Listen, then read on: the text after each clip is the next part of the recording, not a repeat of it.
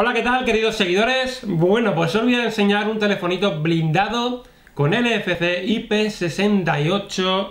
2 GB de RAM, 16 de memoria interna, tamaño, o sea, eh, pantalla de 5 pulgadas y atención al precio por debajo de los 100 euros, cosa que es difícil encontrar un teléfono de por debajo de los 100 euros y que ya nos tenga el chip NFC blindado, etcétera. Aunque es un gama baja, pero hay que tener en cuenta que el precio está muy bien para todo lo que nos ofrece. Así que vamos con el vídeo.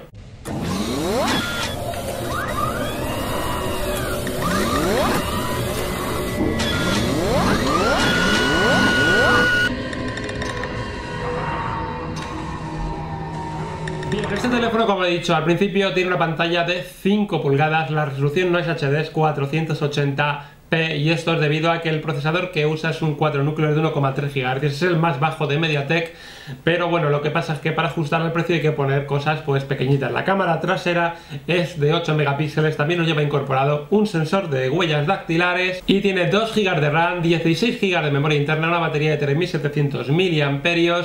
y bueno, pues como he dicho, IP68, NFC, antigolpes, blindado, en fin, es un teléfono bastante completo para el precio que nos ofrece. Hablando del apartado estético, pues en la parte frontal nos encontramos en la parte superior el altavocito, el auricular, un flash LED, la cámara delantera y si bajamos para abajo pues nos encontramos unos marcos bastante grandes, cosa habitual en ese tipo de teléfonos. Los, los botones están integrados en la pantalla aunque tendría espacio suficiente para ponerlos fuera, pero bueno, son cosas que decide el propio fabricante.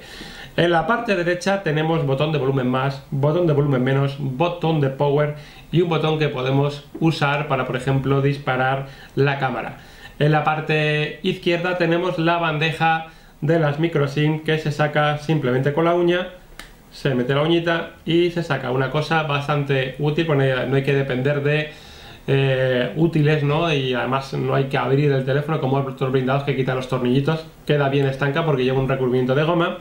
En la parte superior no tenemos nada y en la parte inferior tenemos aquí lo que es el, puerto micro USB de carga y la toma de auriculares protegidos por una gomita. Esto está unido ahí con un tornillito en medio que lo, yo creo que lo que hace es un poco feo porque sobresale así como estuviera ahí puesto de pegote. Es una cosa estética que no me ha traído mucho, pero bueno, serán cosas para facilitar un poco mejor que aguante el IP68. En la parte trasera tenemos la cámara principal de 8 megapíxeles, el flash LED y el sensor de huellas dactilares, así como la marca del teléfono. Sistema operativo que nos hace el teléfono Android 8.1 acompañado de sus 2 GB de RAM pues hace que la experiencia de usuario tampoco es que le podamos pedir mucho. No tiene ningún tipo de capa de personalización, si bajamos la cortina de notificaciones nos vamos a encontrar con los ajustes de siempre y si entramos en ajustes del teléfono pues no vamos a encontrar nada raro, nada nuevo que digamos vaya acorde a algún tipo de capa. La verdad es que es muy stock, bastante stock y eso se agradece porque si no en un teléfono de estas características y encima metemos una capa pues yo creo que sería un poco mm, la experiencia de usuario sería un poco mala. Bien como he dicho tiene sensor de huellas dactilares que funciona bastante bien no es rápido es evidente no eh, ahí también hace además de sensor de huellas también hace su trabajo el procesador y como estamos ante uno muy bajo pues siempre le va a costar un segundito despertar pero la verdad es que es bastante fiable no me ha fallado en ningún momento también tiene Face ID, el Face ID también es un poco más lento de lo habitual, sí que reconoce bien la cara, además me la puse así un poco a oscuras para que fuera más difícil y me la reconoce perfectamente, pero tarda como un segundito, no es nada instantáneo, pero bueno, ahí lo tenemos. Pantalla de 5 pulgadas, IPS, eh, resolución 480p. ¿Esto qué quiere decir? Pues bueno, pues que la resolución no va a ser nada espectacular, eh, los colores también se ven un poquito más apagados de lo normal, pero bueno, eh, yo prefiero esta pantalla en 5 pulgadas que no se ve mal del todo a poner que le metan Full HD o HD con un procesador que la verdad es que iba a mermar un poco lo que es la experiencia de usuario. Los vídeos de YouTube se ven perfectamente, yo siempre pongo aquí este de Costa Rica que me gusta y veis que se ve muy bien a pesar de no tener resolución HD porque el, el tamaño de la pantalla también ayuda a que los píxeles se vean bastante menos. Bien, como todos los teléfonos rugerizados o blindados son un poco toscos y normalmente suelen ser bastante ladrillos. En este caso, como es más pequeñito, el peso se reduce a 235 gramos una cosa que cuando lo coges no se te hace pesado porque más o menos también la vista en esto ayuda, ¿no? Lo vemos así tan, robusto que lo que es lo vas a coger y crees que va a ser un ladrillo y la verdad es que no te llevas la sorpresa, va acorde a lo que, a lo que es. Entonces no es un teléfono sumamente pesado para ser blindado y eso lo agradezco además de que como es un tamaño pequeñito de 5 pulgadas, con el blindado se hace con un tamaño bastante normal y la verdad es que me gusta llevarlo en la mano porque es se coge muy bien, no sé, es algo que aquí en los bordes, como está un poquito redondeado, la verdad es que el, el diseño de este blindado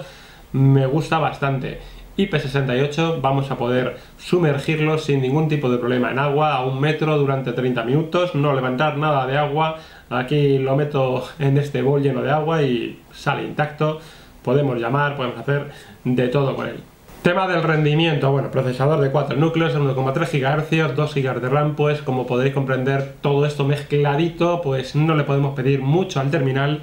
es un terminal que nos va a servir para el día a día como teléfono de trabajo, si tenemos trabajos duros, ¿no? O salida de acampadas o lo que fuera, de trekking, escalada.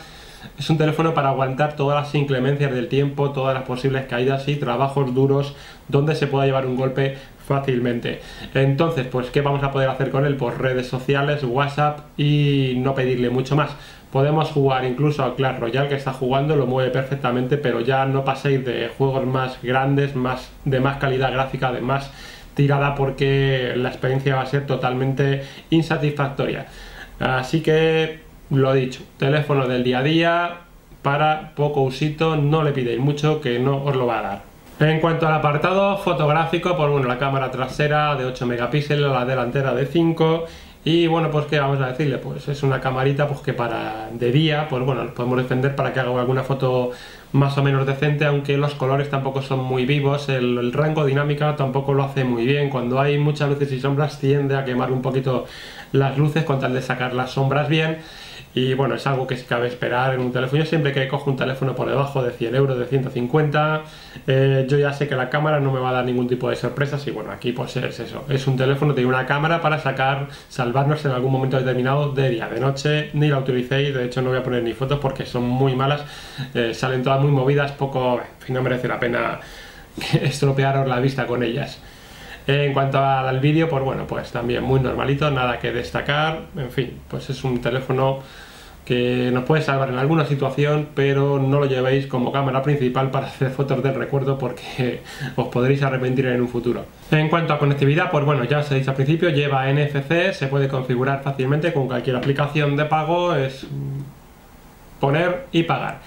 Eh, me gusta que por debajo de 100 euros ya haya fabricantes, en concreto este, que meta NFC porque es una cosa que cada vez se va pidiendo más, cada vez lo vemos, vamos viendo más en las tiendas, en los supermercados a la hora de pagar y para mí por, por lo menos es una cosa bastante cómoda y que suelo usar bastante yo para pagar. Así que teléfono por menos de 100 euros con NFC, chapo ya quisieran otros fabricantes poder ir incluyéndolo y no tener que tirar a gama media alta para poder conseguir un chip de ese tipo. GPS, pues bueno, como era de esperar, el GPS funciona ya bien. Yo creo que ya últimamente no me encuentro ningún teléfono en el que el GPS vaya mal. Alguno a lo mejor tarda un poquito más que otro en posicionar, como puede ser este, ¿no? que un pelín más, pero luego una vez que ha posicionado, la verdad es que es totalmente fiable, no me pierde la posición para, para nada, así que es una cosa que podemos tener en cuenta y irnos por ahí donde haya señal y que no nos pierda por el camino. Bien, y llegados a ese punto, ¿recomiendo ese teléfono? Pues bueno, eh, depende para quién. Yo siempre he pensado que los teléfonos blindados son para un cierto tipo de personas, ¿no? Normalmente no se suelen utilizar como teléfono principal del día a día, sí que los hay a veces que lo utilizan, ¿no? Quieren tener un solo teléfono y hay otras personas que quieren tener un segundo teléfono pues para esos trabajos duros, etcétera, ¿no? Que queramos un poco de seguridad y que no se nos rompa en ningún momento. Entonces, pues sí, la verdad es que por menos de 100 euros que nos ofrezca todo esto lo veo muy bien. Poptel además es una marca que ya he probado yo otro, otros dos y me ha salido siempre bastante fiable, muy buena construcción, muy buena calidad mm, de software, no tienen ningún bug especial, la verdad es que nunca les he notado nada y los precios son bastante económicos y atractivos. Entonces, teléfono blindado como secundario para trabajo, para aguantar inclemencias del tiempo, etcétera, pues sí, lo recomiendo porque por este precio ya os digo que no vais a encontrar nada mejor, una relación calidad-precio estupenda. Así que un saludo y nos vemos en el siguiente vídeo.